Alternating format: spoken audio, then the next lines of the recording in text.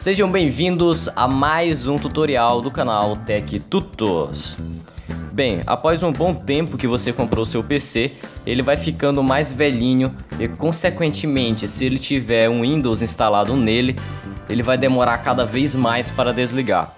Isso acontece porque tem muitos aplicativos abertos que não querem fechar e ainda retardam o desligamento da sua máquina. Hoje eu estarei dando uma dica muito boa, principalmente para você que tem muita pressa aí no dia a dia e quer que seu computador desligue rapidamente. Bem, primeira coisa que você tem que fazer é vir na área de trabalho e clicar em uma área vazia aqui com o botão direito do seu mouse. Você vai até a opção novo e então clica em atalho. Quando aparecer essa janela aqui, no local do item você vai colar o código que eu estarei deixando na descrição do vídeo, tá? Não é um código muito pequeno.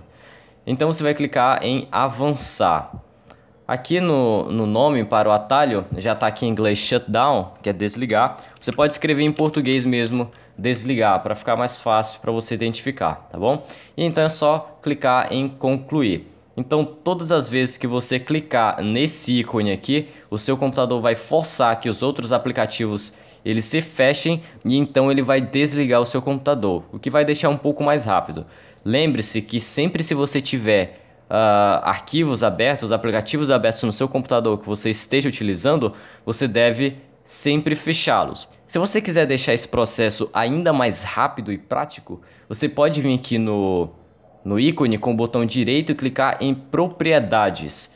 Aqui na opção de atalho, em teclas de atalho, você pode adicionar qualquer sequência de teclas que você quiser. Para adicionar esse comando, é só mesmo pressionar as teclas. Ó. Vou apertar Ctrl, vou apertar Alt e D. Depois que você adicionar o seu comando aqui, é só clicar em aplicar e clicar em OK. Então, uh, você pode tanto desligar o seu computador pressionando Ctrl Alt D ou a tecla que você escolheu aí, ou então clicar no ícone de desligar, tá bom? Então é isso galera, espero que eu tenha ajudado vocês. Se você gostou desse vídeo, não esqueça de deixar o seu like aqui embaixo, isso ajuda bastante no canal. Suas dúvidas e sugestões postem nos comentários e ainda não se esqueça de compartilhar esse vídeo nas redes sociais e se inscrever no canal para ficar por dentro de tudo o que está acontecendo. Muito obrigado, abraço e até a próxima. Falou!